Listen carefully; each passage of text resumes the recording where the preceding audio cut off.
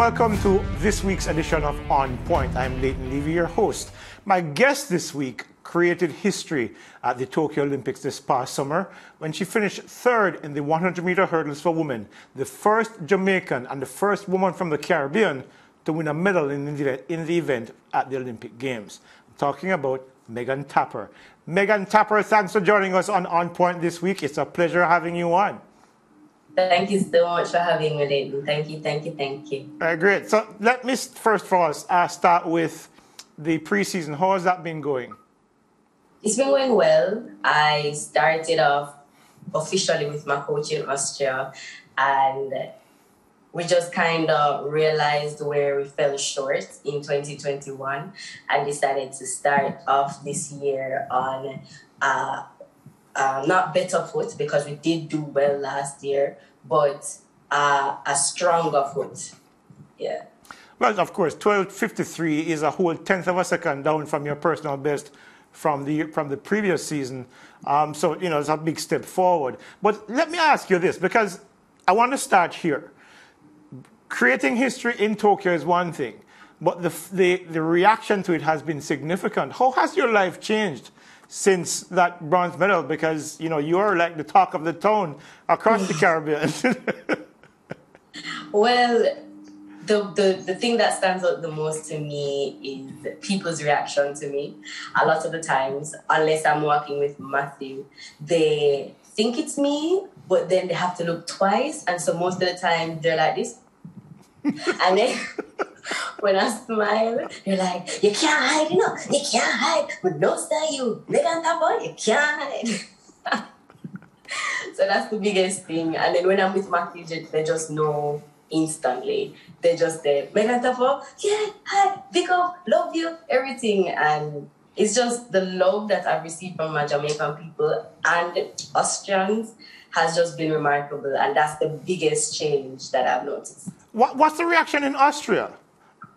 Uh, well, after the Olympics, I went out a couple times to get some food with my coach, and most, if not all, of those times, my meal was paid for by an Austrian. Wow. yeah. There are, yeah. big, there are big benefits to being an Olympic medalist, it seems. Apparently so. Apparently so. Okay, but be, beyond that, though, Meg, um, you know, now comes the, the anonymity goes away. Huh? Prior to this, you were the hardworking lion who we saw in, in Doha in 2019.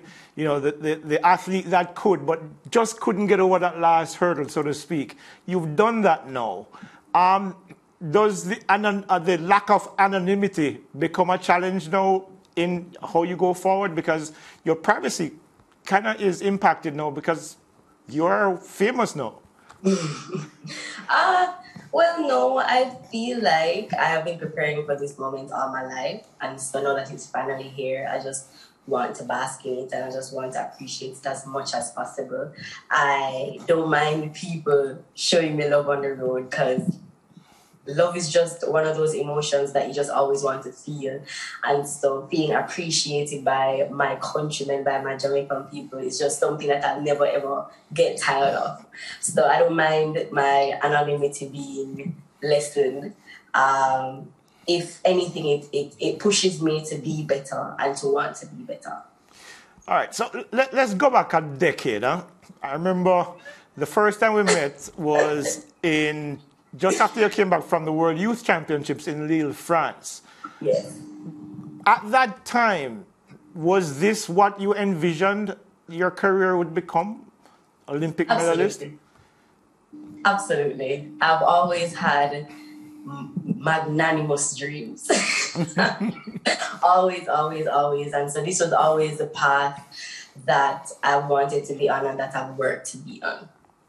Yeah, well, yeah, and it's, it's, it's not been a smooth ride because, you know, I've used, I've heard the criticisms of you, and of course, I'm sure you would have heard them along the way. You're too short, you're too small, you know, you're not quick enough. But in your own mind, did those sentiments create any doubt about what you'd be able to accomplish once you got the right circumstances? Ah, uh, no.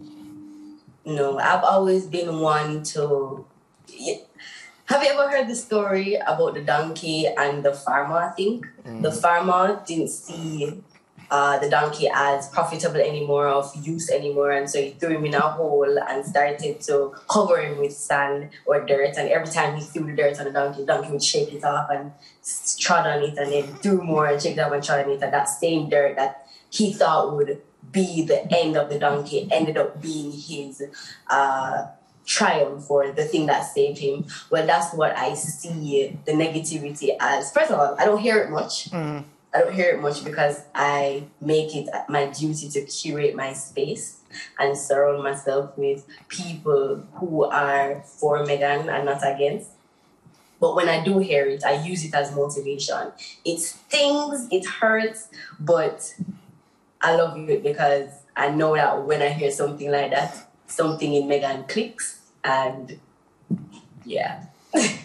okay, you're talking about click. I mean, you're giving me the segues here perfectly. So, so, so 2019, you make it to the finals of the World Championships in Doha. Yes. many people saw the improvement. They saw you running well. You saw you running consistently. You're in the final and you hit the first hurdle and fall to the track. I remember watching distinctly and watching you punch the track in frustration. Tell me a little bit about what went through your mind there and where, where did the motivation click after that moment? Wow, uh, just thinking about that moment, thinking about Megan in that moment, just complete and utter devastation, mash up. I was just, it was, it was unbelievable. I couldn't believe that that opportunity that I trained for so long and so hard and that I was so ready for ended in such devastation. I mean, there's no other word that can basically describe that moment. As I said, I was, I've never been ready up to that moment for a race the way I was ready for that final. And unfortunately, I wasn't able to finish the race. And the feelings were overwhelming. I wasn't able to be the composed Megan that most of us know, that most of you know. because the emotions they were just so raw and overwhelming. Uh, but where did it? Where did the motivation click afterwards? I mean, back to curating his space, back to surrounding yourself with people who know what the goal is and know that you are capable of achieving that goal. Um, so I'll reach out to the various people who were in my circle at the time and they would say to me, Don't worry about it. This is just another roadblock. You are still Megan, you are still capable, you if anything is still possible for you, shake it off and let's go again. And so that's basically how or talking to my support team was how the motivation came back for me. Mm. Yeah. Yeah, because you know that fall wasn't your first your your first stumble, literally. Um, you know, and to keep picking yourself back up requires a certain mental fortitude that I don't think a lot of people associated with you. Is that has that been an underlying characteristic for you from ever since, or was it something that you developed later on as you started competing, regardless whether in high school or at the at, this, at the senior level? Oh no, uh, determination and grit is something that I what that was ingrained in me from my days in gymnastics. So as most of you should know by now, yeah. I was a gymnast. Yes, so I went to the Ishimoto School of Gymnastics where a Japanese was my coach. And if I learned anything, it was to push through when the road is extremely rocky, when you can't see the end, when you have no energy left. It is to just continue pushing and, and never ever giving up. And I always say that gymnastics is one of the best foundations that you can give your child because I feel like a lot of things that I've learned in order to conquer my different or or to hurdle my different things in life was learned from gymnastics and learned from Mr. Ishimoto himself. Mm-hmm. And you mentioned gymnastics. I mean, a, a number of world-class athletes, Yelena Isinbayeva, world-class long pole vaulter, um, has, you know, she was, she did gymnastics in preparing for what became a very outstanding career as a pole vaulter. Has it helped you physically on the track, that flexibility, that, that strength, upper body strength, you know, does that help you hurdling at all? Absolutely, absolutely. The reason why I chose hurdling is because I knew that with my gymnastics background and my dancing background, I'd have been able to get that uh, technique easily. And so, gymnastics is definitely a huge part of why Megan who is why Megan is who she is today, right. basically. Fair enough. Okay, so let's let's talk about Coach Unfried because he is the man who took you to those, you know, dizzying heights. Tell me a little bit about how you you you. I mean, he's in Austria. You're in Jamaica. How did that link happen in the first place?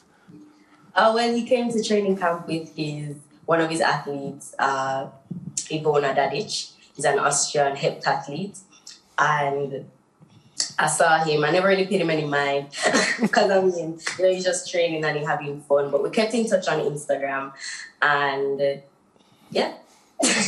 So, so you, you did it through social media. Yeah. So eventually, when you decided to change your coaching situation, you know, what was it about him that made you think that he was the the go-to guy?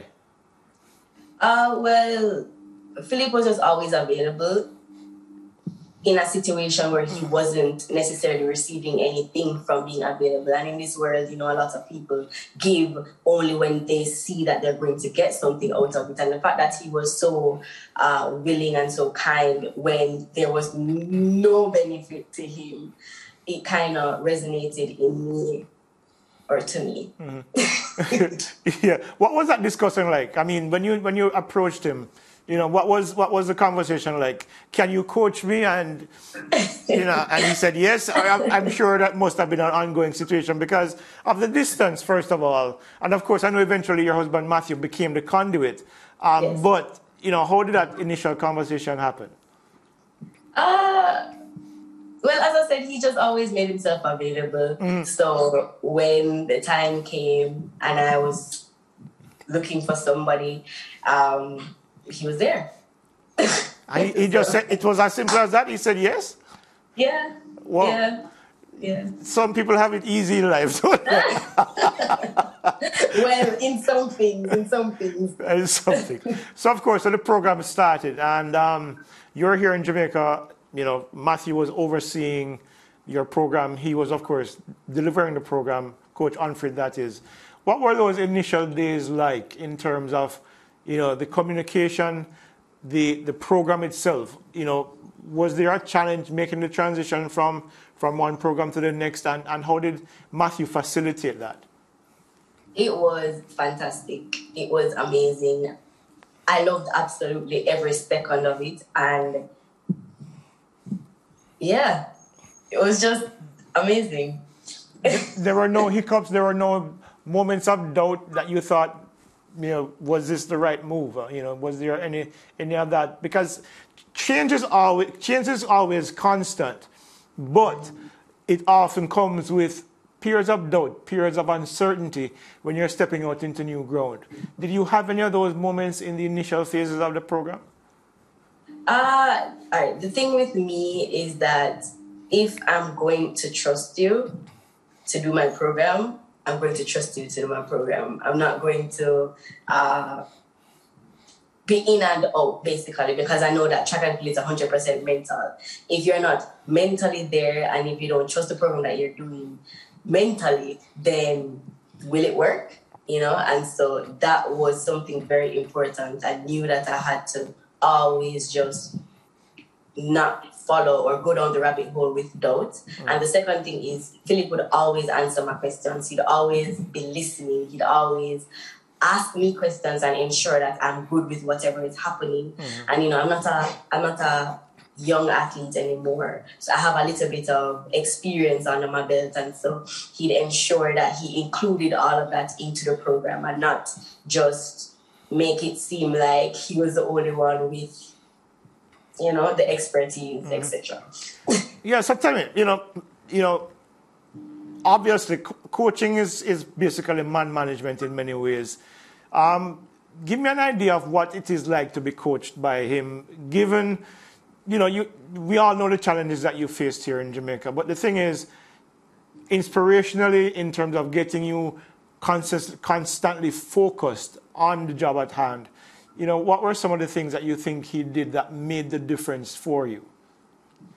First of all, it's fun. Training with Matthew and Phillip is a breath of fresh air for me. I love it. Um, secondly, to have people who believe in you when you don't believe in yourself is something that can uplift you when you yourself don't believe in what you're doing or who you are or what you can achieve.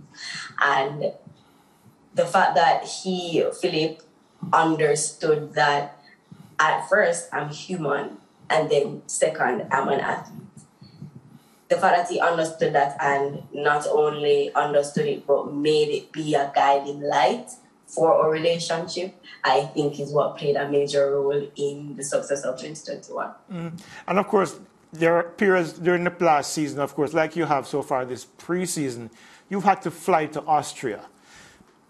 Was the adjustment in Austria challenging for you? It's a new environment, it's a different country, different culture, and of course, you would have um, people training along with you within that camp in, in Austria.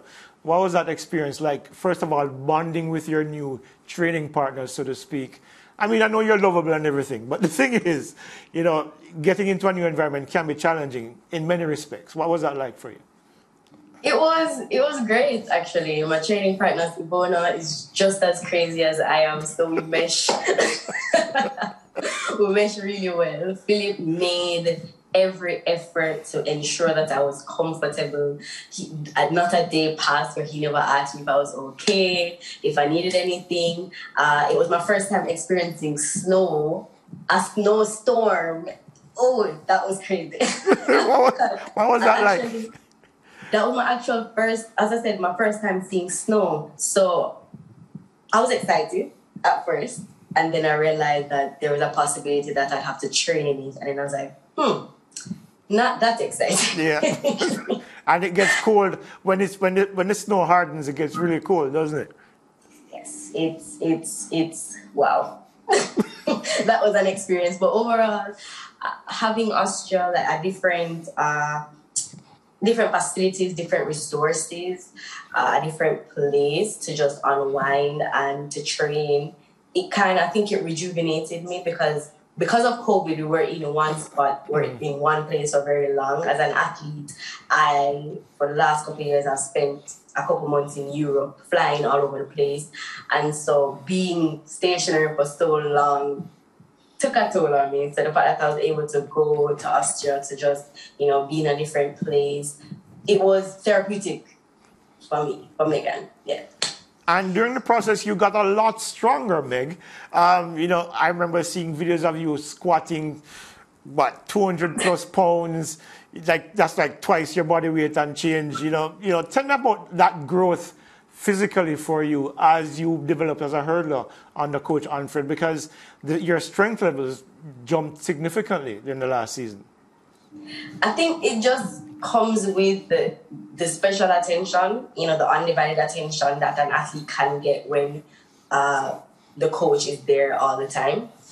And I think that's where I, that's what I benefited, benefited from the most. The fact that he was there every gym session, he would say, every time I lifted, he'd be like, increase. And I'm like, okay, increase the first time. Increase again. I'm like, okay do the squat again, and I was kind of, I'd be kind of rocking or you know not doing it perfectly, and then I'd come up and I'm, okay, that's definitely it, not increasing again, and then he'd be like, increase again, and I'm like, sir, what? because I'm used to just increasing when it feels comfortable. You know, mm-hmm. why move on when you're not comfortable?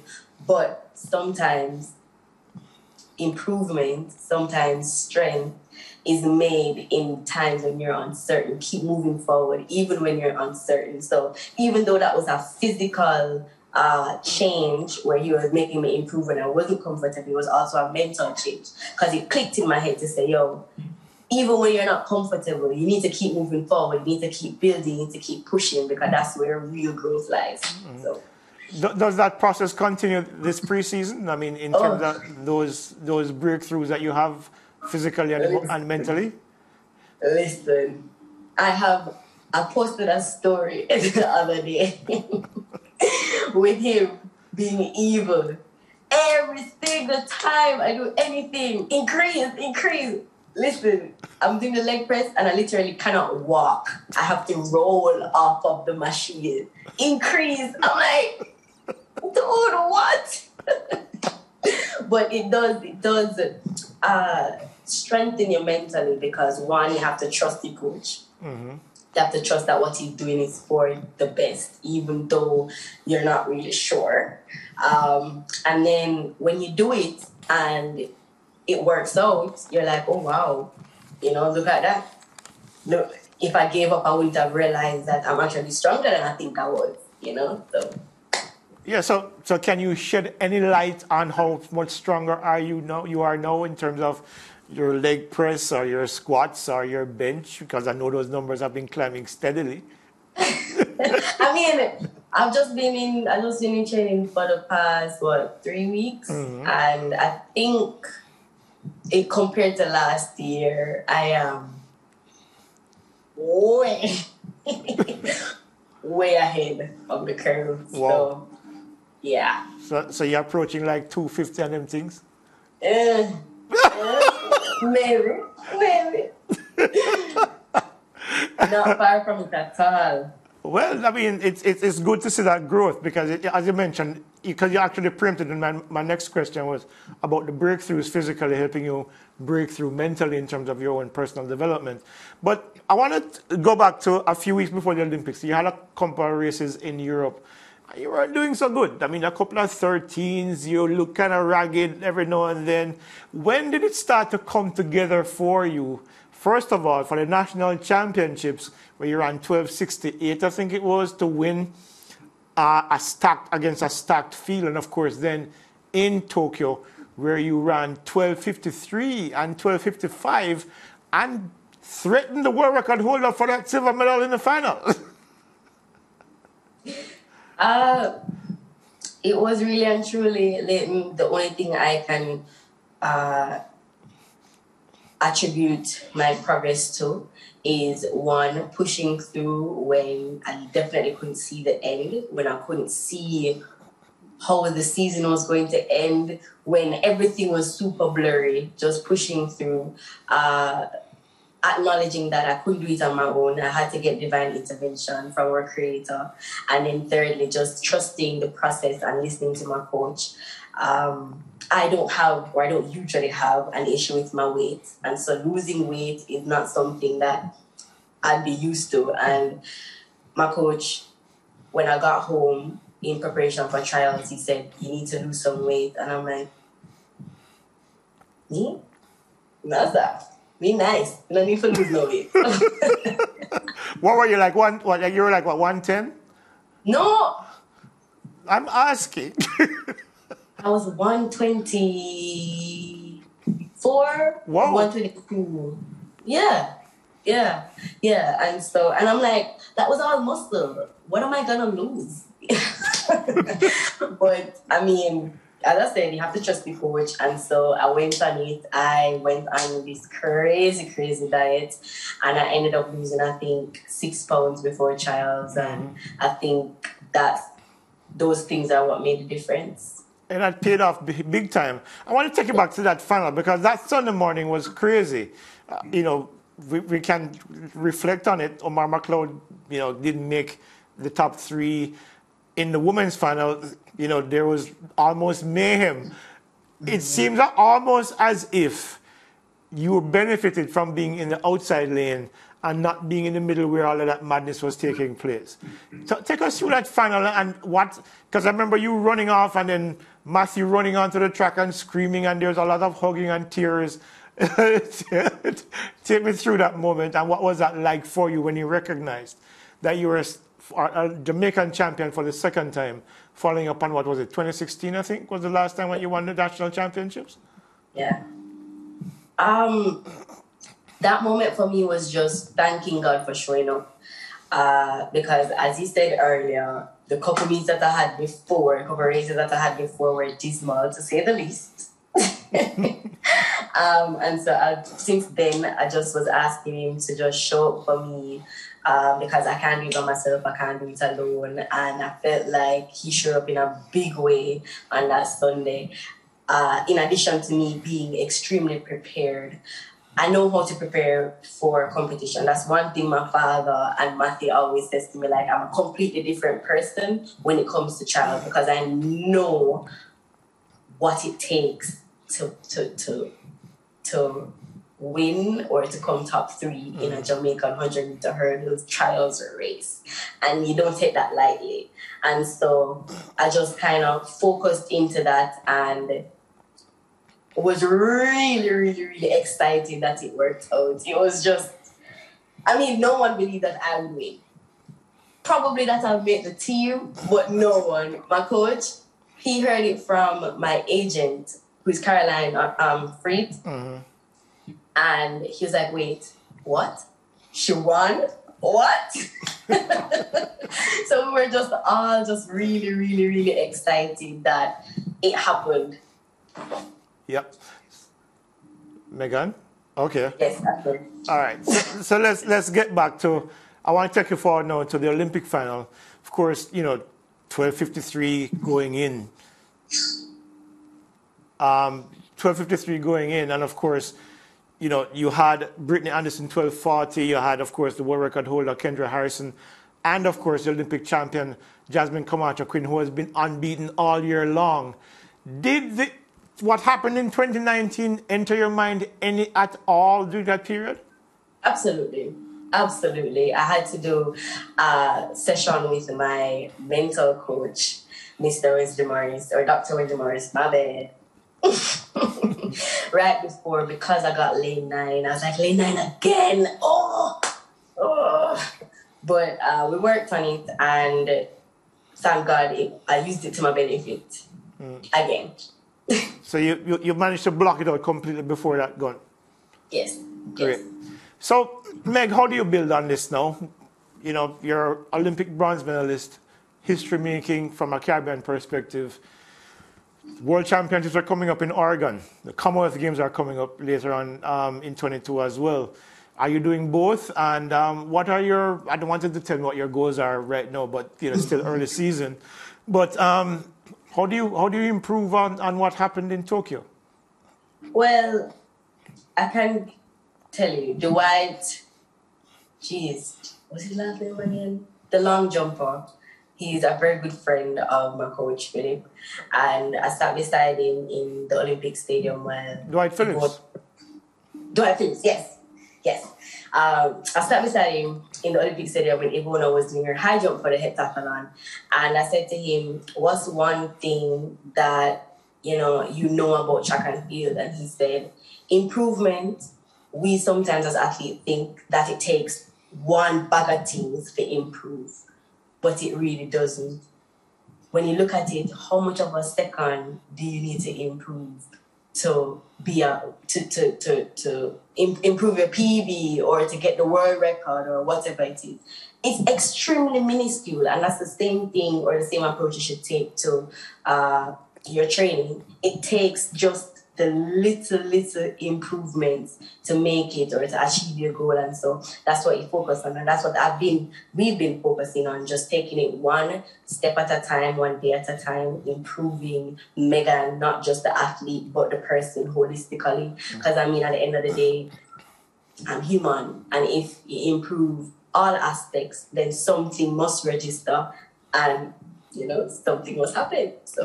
Yeah, yeah. Paying attention to the detail because you know, obviously, you're stronger now, you're more experienced, you're still as flexible as ever, and most uh-huh. importantly, you're more confident than you ever have been before.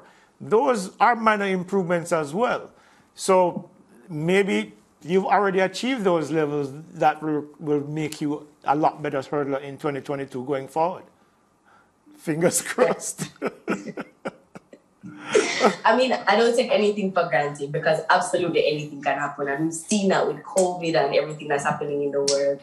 You just want to take it one step at a time, one day at a time. Improve one day at a time, one one session at a time, one breath at a time. There you go. I mean, what better way to end it? Megan Tapper, thank you so much for joining us on On Point. And of course, looking forward to another outstanding season from you. It won't be such a, a surprise as to many people as last year, but certainly it will be a season to look forward to. Thank you, thank you, thank you so much for having me, Leighton. As always, it is a pleasure. Always a pleasure. And of course, that brings us to the end of On Point for this week. I'm Leighton Levy. Of course, remember, next week we have another exciting guest for you and we will talk more on On Point. On behalf of the crew, this is Leighton Levy saying goodbye for now.